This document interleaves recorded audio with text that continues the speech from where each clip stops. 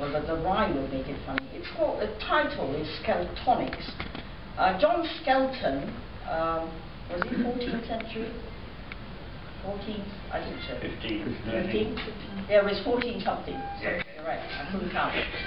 Uh, it was 15th century, and John Skelton, um, Skeltonics comes, the term Skeltonics come from John Skelton, who would keep rhyming until the rhyme dies out, and then he goes on to another.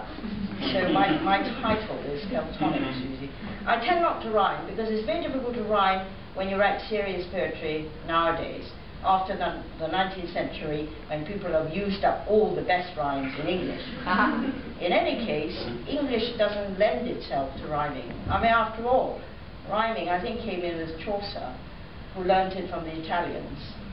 Um, rhyming, not being a Latinic language, a Romance language like French, Italian, uh, the English language doesn't really lend itself to rhyme.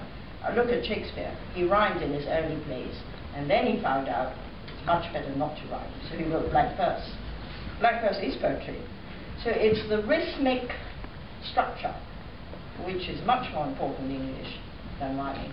But I do rhyme when I want to be funny, mocking, or satirical. Uh, let's see.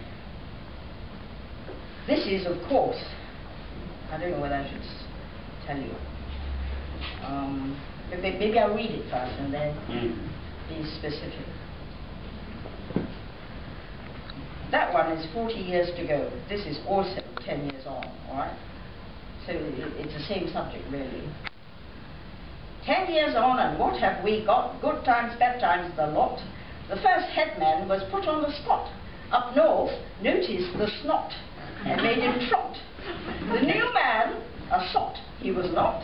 Still, he wasn't all that hot.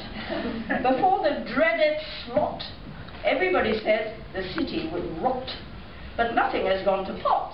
Oh no, oh no, we have not lost the plot.